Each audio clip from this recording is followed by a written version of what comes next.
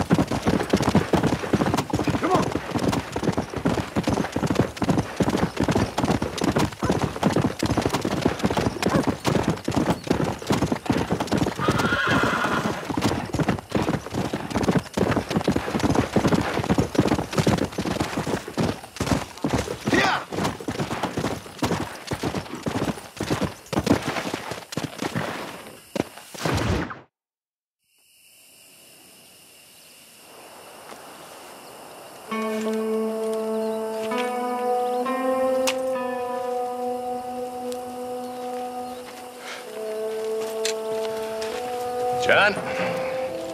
Marshal? Gentlemen!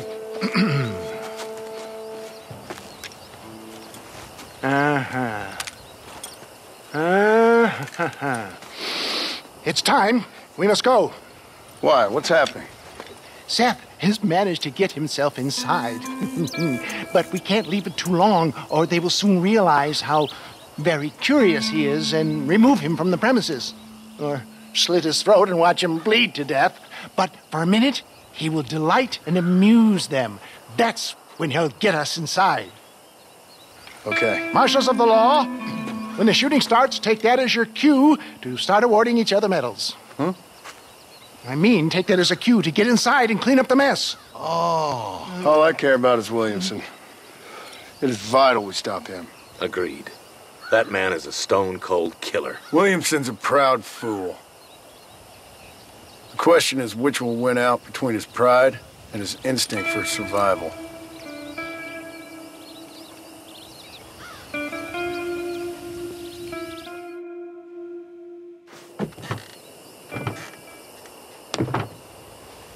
Ensconce yourself in the back of my wagon, John, so that we can make our grand entrance.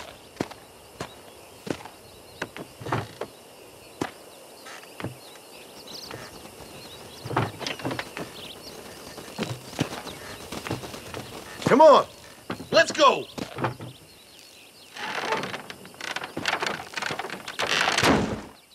All right, good. Now just stay put till I tell you otherwise. That scoundrel Seth had better not let us down. Once we're inside and I've lulled our adversaries into a false sense of security with some beguiling sales patter, I will give you the signal. What signal? The moment you hear a sharp rap on the side of the wagon, rise like the phoenix and start shooting like you've never shot before. This is it, my dear boy. The moment of truth. Me and you, John. One last time into the breach. This is going to have to be the performance of my life. I hope my nerves don't get the better of me. I'll be honest with you, John, I'm a little jittery. John? John? It reeks of miracles back here. Thank God. I'll be ready with that machine gun, my dear boy. I'll be a sitting duck in there.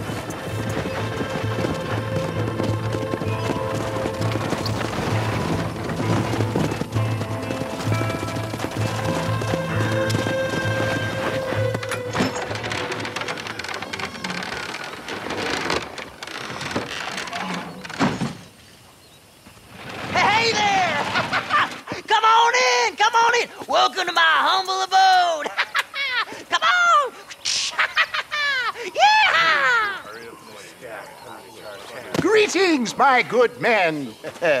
what would you say if I said immortality was at hand? What would you say if I told you I could teach you to fly? what would you say if I told you I could turn a man into a beautiful woman? Impossible, yes, once, but no more. Gentlemen, I bring you wisdom from the East. I have here in this wagon some of the finest goods, the best medicines, and the newest inventions available for you and your families. Exotic trinkets from the far reaches of the earth, elixirs that give vigor and strength. and uh, for you men of physical skill and athletic physique, uh, this miraculous elixir can keep the muscles supple and relax the cords. It loosens the joints and gives a feeling of vigor and freshness to the whole system. Why, some men have reported to me that after drinking it for one month, they can chew through steel. What the hell? It's a trap! Okay then. Seems like a real.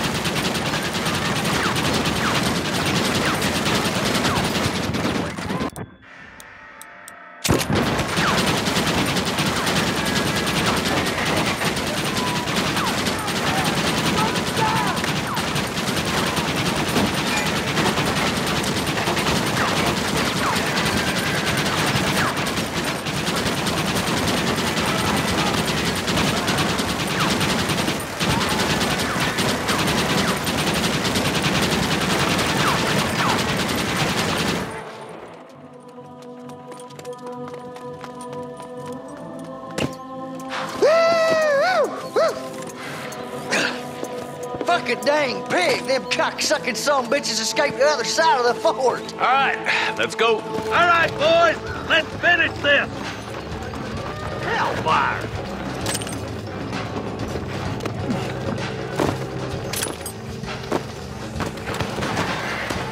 Sorry, partner.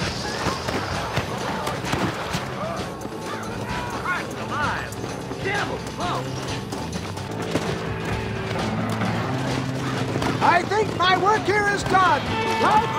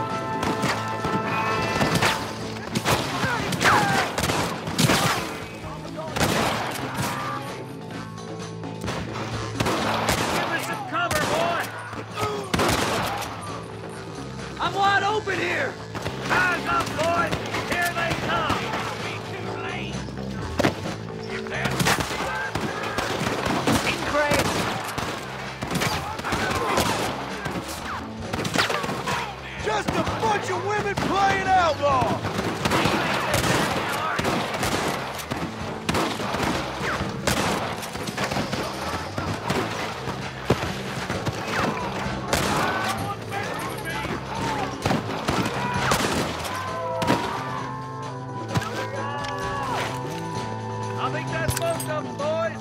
Come on, let's regroup.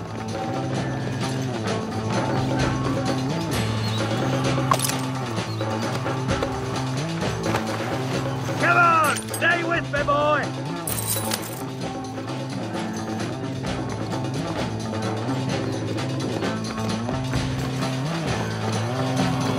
That's the last of them. We still can't find Williamson anywhere. Hey, it's the snake oil guy. Gentlemen, let me in, for goodness sake. That fool must be hiding. Men, it is time to start tearing this place apart and find out where he's cowering. You've got a sense of urgency here, please. Open the gate. It's the snake oil guy. What Get the goddamn gate open and lock it behind him. Oh, we've got company, gentlemen. These scoundrels have got reinforcements riding this way. Oh my good lord above! There must be a hundred of them!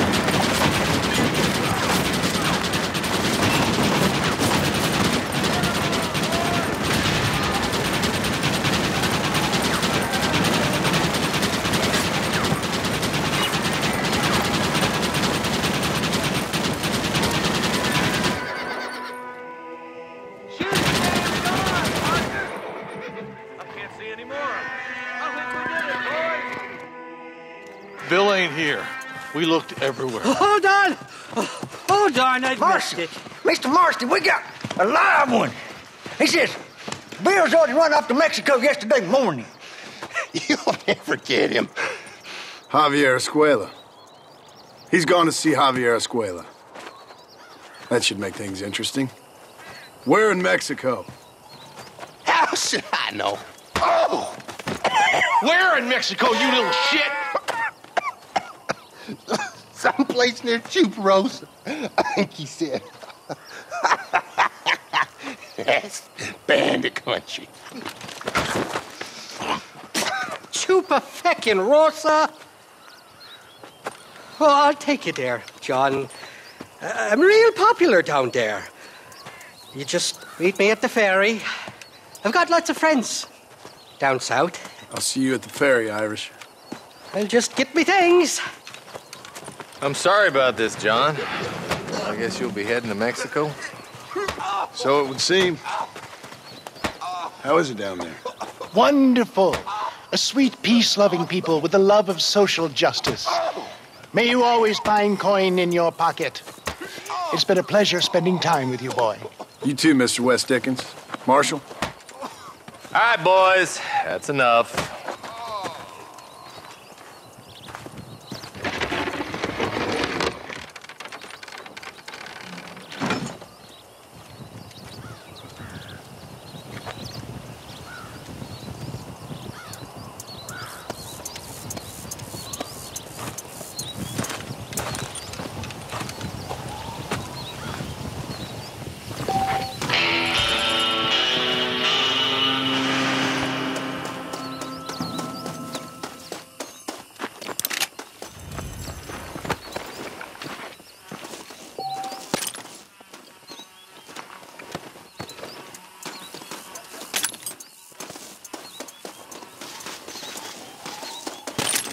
Excuse me, mister.